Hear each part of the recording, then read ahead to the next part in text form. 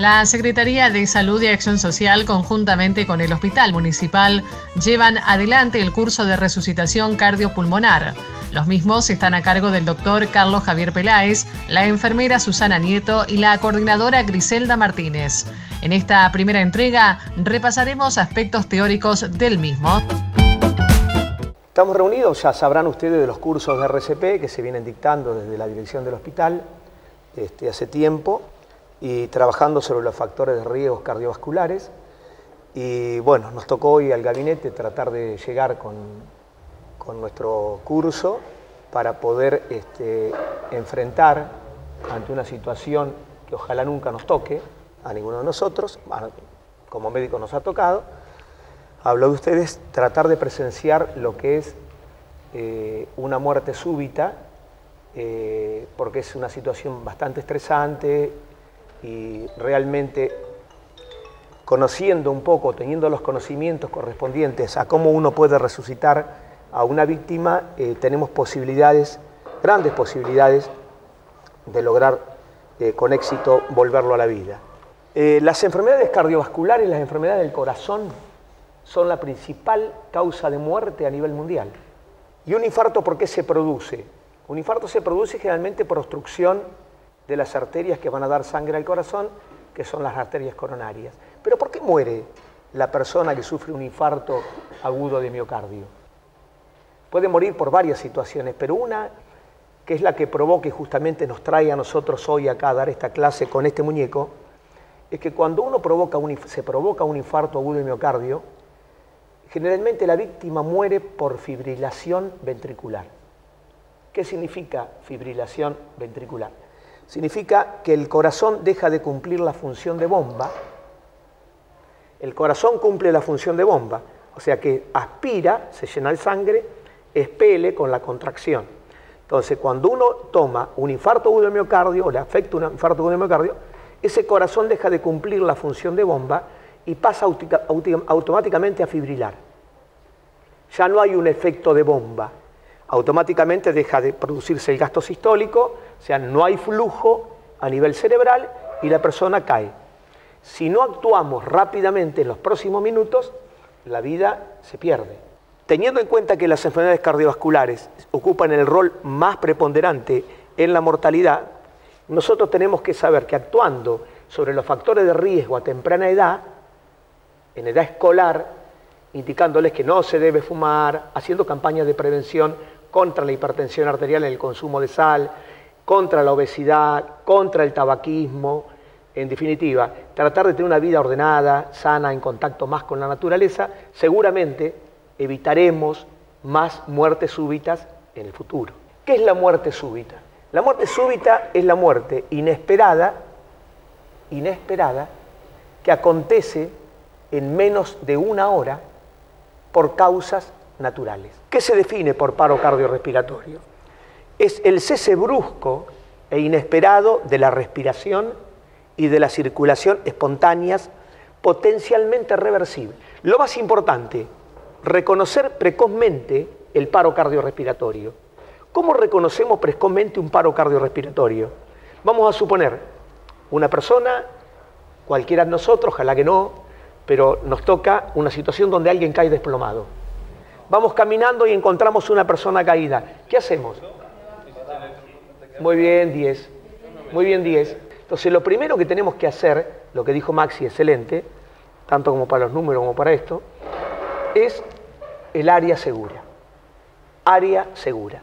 Si no tenemos área segura, no podemos tocar nada, porque puede haber derramamiento de tóxicos, podemos estar en una ruta, eh, podemos estar en un incendio, y si vos te acercás y hay mucho monóxido de carbono y te desorientás por el humo, demás, no salís, sos otra víctima más. Entonces, primero aseguramos el área. Una vez que nosotros aseguramos el área, sí, y en forma imperativa, imperativa, tomándolo de los hombros, fíjense porque después lo vamos a hacer todos, tomándolo de los hombros, vamos a interrogar, porque la única manera que tenemos, a ver si responde, es a través de la comunicación. Entonces, tomamos los hombros, suave, porque si tiene un golpe en la cabeza, lo podemos, podemos generar más problemas, lo interrogamos. Señor, señor, señor, dígame cómo se llama, o sea, lo interrogas para buscar una respuesta verbal. Vamos a suponer que esta persona está inconsciente. O sea, lo que estamos nosotros haciendo en este momento es evaluando el nivel de conciencia. No responde con la conciencia, automáticamente, generalmente uno no está solo.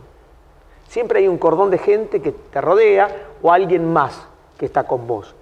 Si bien la mayoría de las muertes súbitas ocurren el 60% en el domicilio.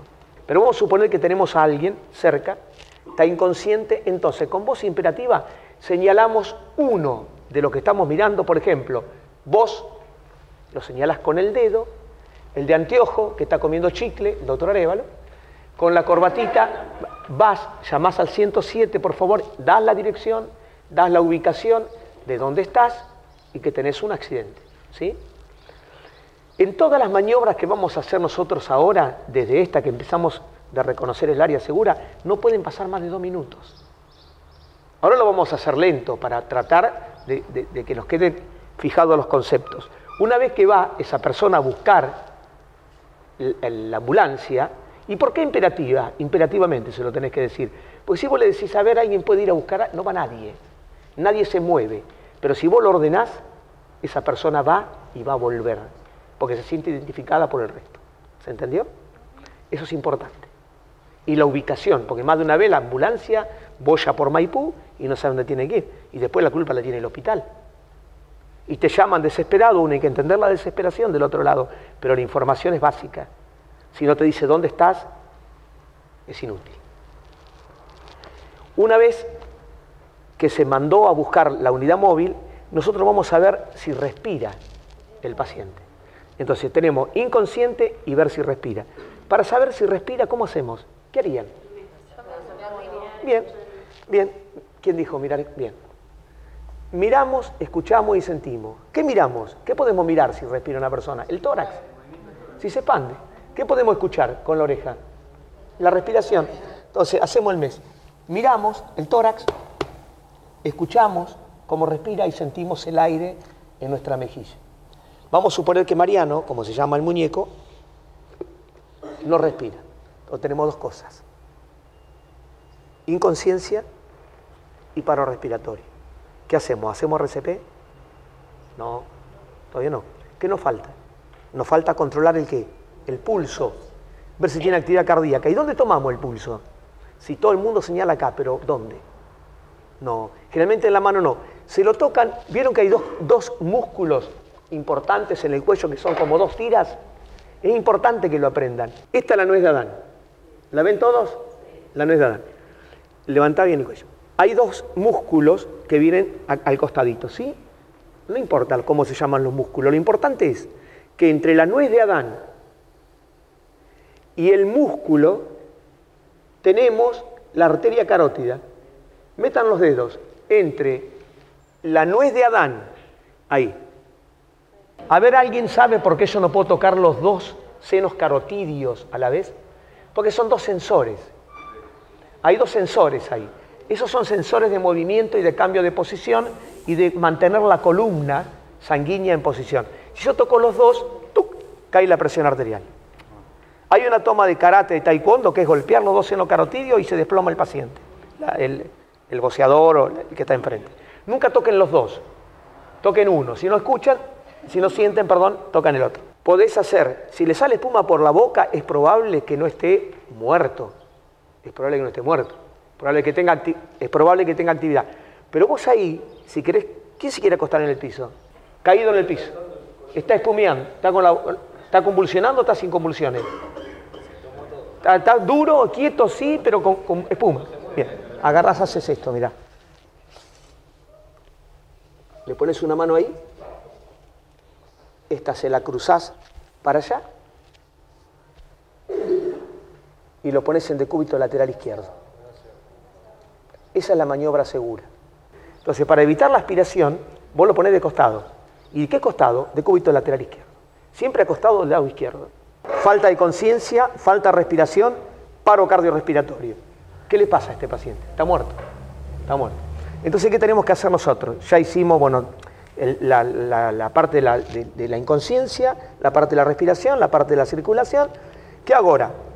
El brazo de la víctima lo paso por entre mis piernas, pongo una voz, trato de estar cómodo, en una línea que une el esternón, el esternón es el hueso del medio, venimos descendiendo y hay una fobia. Fobia es una depresión. Hay una depresión después del esternón. Hay una, tóquensela hay una depresión. Antes de llegar a la boca al estómago, hay como un hundimiento el esternón. Ahí va el talón de la mano colocado, en esa parte. Va el talón de la mano. Entrelazamos los dedos, la mano que toca el tórax es la que a ustedes mejor les parezca, la que sea más fácil para tocar, para hacer masaje, y en forma perpendicular, claro, los brazos rectos y en perpendicular al plano del tórax, empiezo más o menos 30 Em, contracciones a 100 por minuto, hundiendo 5 centímetros el tórax. No, no, no, se te va a venir si la pones en este momento. Entonces empezamos, contá. Fíjese en que lo que bascula de mi parte es la cintura. Más fuerte que no escucho. Bien, después de 30, Después de 30, hacemos dos boca a boca, ahí sí. Enderezamos la vía aérea, ¿trajiste alcohol todo? Hacemos dos, tapando la nariz.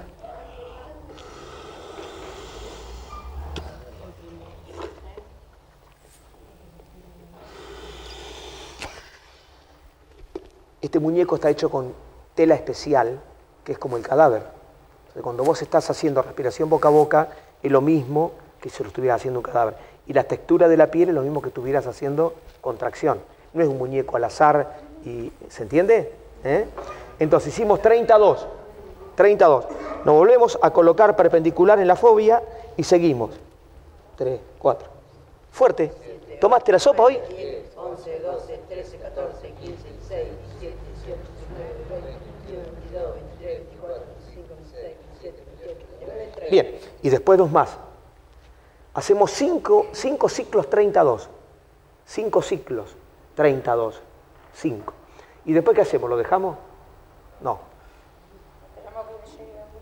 Obvio. Bien, pero haces el mes otra vez.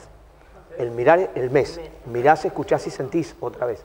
Por si el paciente empezó con respiración y demás. ¿sí? Si vomita, lo pone de costado de cúbito lateral izquierdo. ¿sí? Entonces, recordar, las maniobras son 32, 5 ciclos. ¿Cuánto hundimos el tórax? Entre 4 y 5 centímetros. ¿Qué frecuencia cardíaca utilizamos? 100 por minuto. Aproximadamente. Uno va a estar 100 por minuto. ¿Qué hacemos con un ahogado en la pileta? O en el agua de mar. Es diferente el ahogado salado agua dulce. Pero, ¿qué hacemos con el ahogado? ¿Nos preocupamos de sacarle el agua? Hagan RCP siempre. RCP, siempre RCP, si él, si él vomita, vos lo ponés de costado, pero no hagan otras maniobras, esa que te aplastan de atrás. no, esa no, no, no va.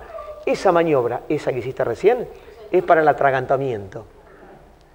Cuando uno se obstruye la vía aérea por un cuerpo extraño, que puede ser una pechuga de pollo seca, muy frecuente en las personas de edad, este, que se les va la tráquea, y, es una situación tremendamente difícil, eh, tenés que hacer la maniobra de Heinrich. Vení. La maniobra de Heinrich, le colocas el puño, eh, claro, el puño en la boca al estómago, el puño en la boca al estómago, lo abrazás, ¿sí? Lo abrazás, escuchá esta parte, tirás para atrás y a medida que tirás para atrás, tirás para arriba. Cinco, ah, tirás para abajo, tirás para atrás y para arriba, así. ¿Te das cuenta? Eso aumenta la presión negativa, positiva del abdomen y larga el, el, mejor dicho, el cuerpo extraño.